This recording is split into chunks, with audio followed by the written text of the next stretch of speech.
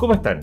El estudio de las lenguas ha sido una preocupación de la Universidad de Chile desde hace más de 80 años. Claro, en la década de los 30 se partió con los primeros institutos que enseñaban lenguas de distintas, lenguas eslavas, ya vamos a precisar aquello.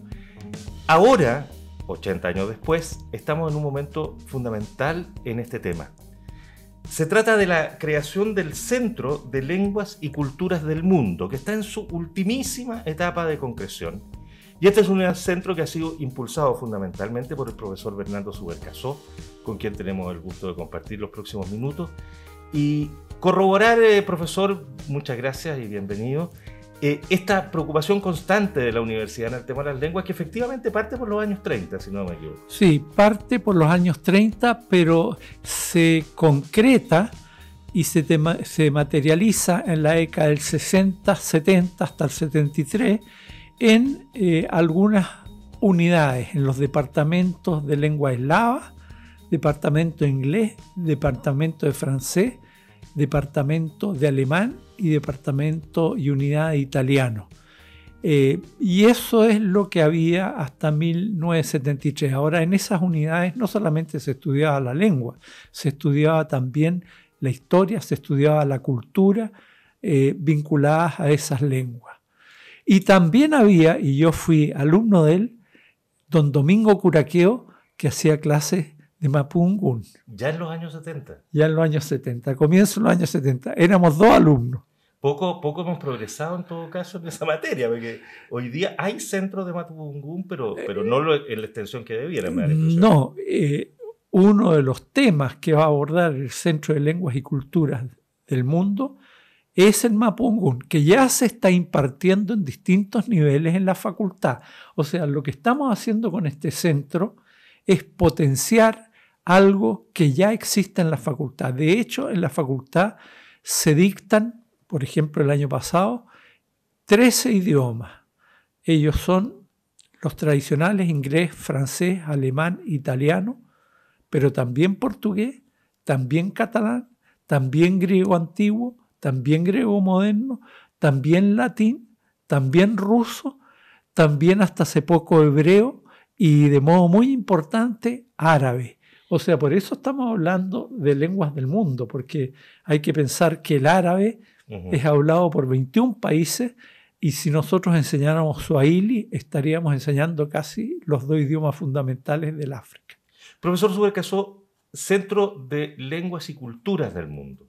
¿Qué son las lenguas? ¿Es cultura? ¿Es un medio de comunicación? ¿Es una forma de entendernos? Bueno, la lengua es todo eso, pero al mismo tiempo es cultura. Por ejemplo, el Mapudungún está impregnado de la visión del mundo mapuche. ¿Ah? Y eso pasa con todas las lenguas. Entonces, la lengua en sí mismo es un producto cultural. Eh, eh, a mí me gusta mucho una frase del filósofo eh, Heidegger que dice, la lengua es la casa del ser. Sí, claro. ¿Ah? La lengua es la casa del ser. Ahí vivimos. O sea, ahí vivimos y con eso nos identificamos. O sea, ¿cómo sabemos nosotros, eh, cómo conocemos la identidad en el sentido más próximo cuando estamos con un argentino o cuando estamos con un mexicano o cuando vemos un letrero como yo vi en Ciudad de México? Camiones materialistas prohibido estacionarse en lo absoluto. Eso puede pasar solamente en México, porque allá se le llama camiones materialistas a los camiones que trasladan materiales y a las micros se les llaman camiones. Pero eso es propiamente de México. O el cachay, que es, nuestro. Entonces, en la lengua y en el aula, ¿ah? porque la lengua es el, fundamento más estructural, pero está el aula, que es muy importante. Y eso eh, es nuestra identidad.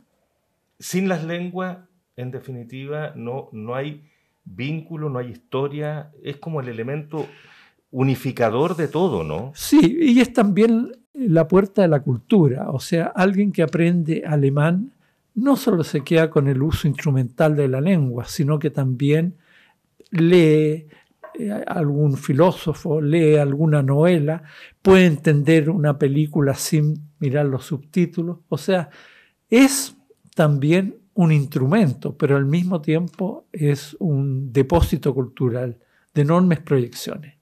Profesor Subercasó, para la Universidad de Chile, ¿qué importancia tiene el fundar este centro y en darle el peso y la importancia que en este momento se ha decidido tener? Bueno, este centro fue aprobado eh, con algún debate en el Consejo Superior de la Universidad hace una semana y ahora nos cabe fundarlo como Facultad de Filosofía y Humanidades. Eh, la idea de este centro es, por una parte, atender a la universidad, atender a los estudiantes. De hecho, con los idiomas instrumentales que se están dando en la Facultad de Filosofía, se atienden a casi 400 estudiantes de distintas facultades. Eh, pero se atienden en el sentido de comprensión de lectura. Ahora, este centro va a ir mucho más allá. va a haber conversación. Claro, Va, a va a ir a conversación, va a ir a muchas dimensiones y casi todos los idiomas se van a enseñar en por lo menos cuatro niveles. ¿ah? Entonces es mucho más que lo que se está haciendo. Pero por otra parte, eh, creemos que eh, la importancia de este centro radica que está pensado en una línea de universidad abierta o sea que puedan ir desde niños hasta adultos del medio cultural. De alguna manera, Nuñoa eh, y el lugar donde estamos ubicados, con las líneas del metro que hay, se ha convertido en un polo, que es muy posible que sea un polo cultural de partida ya gastronómico en la Plaza Nuñoa. así, que, puede ser también un polo cultural. Y vamos a enseñar, vamos a trabajar con esos tres idiomas que ya tenemos, pero también estamos tomando contacto con la Embajada de Japón, vamos a tomar contacto con la Embajada de China y con la Embajada de Corea. Y realmente cuando tengamos eh, parte importante de Asia, porque ya tenemos el Medio Oriente con el árabe, eh, vamos a poder hablar con propiedad de un centro de lenguas y culturas del mundo. Entonces está en una etapa de desarrollo. Ahora, esto también eh, va a requerir una cierta inversión. Sin duda. Pues. Porque queremos hacerlo bien. ¿ah? Queremos ¿Y van a estar instalados en el edificio nuevo de Filosofía y Humanidades? No, no cabemos ahí. La perspectiva es eh, buscar la posibilidad de levantar un proyecto que al menos nos permita eh, eh, utilizar eh, parte del edificio actual en que estamos. Ah, perfecto.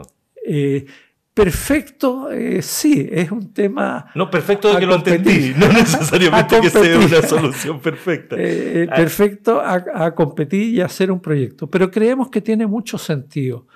¿Por qué?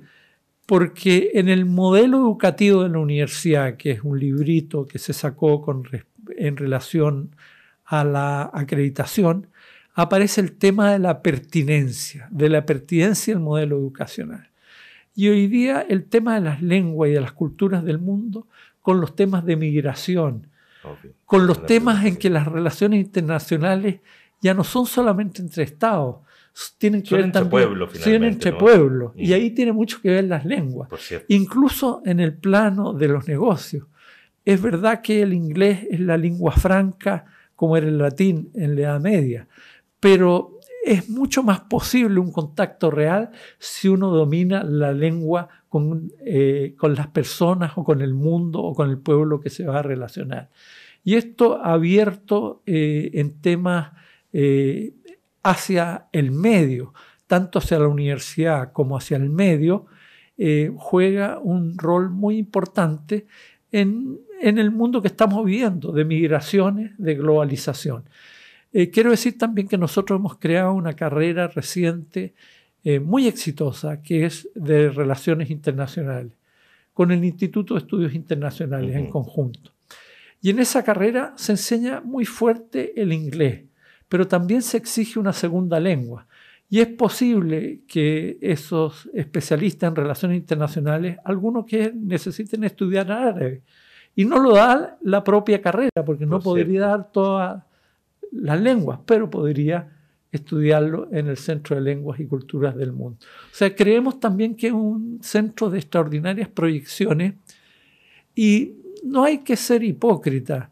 Eh, la facultad es una facultad pobre y, nosotros no podemos eh, hacer consultorías económicas, ni podemos eh, evaluar materiales como lo hace el IDIEM, ni podemos tener opiniones importantes sobre el cobre, pero sí eh, podemos certificar dominio de las lenguas.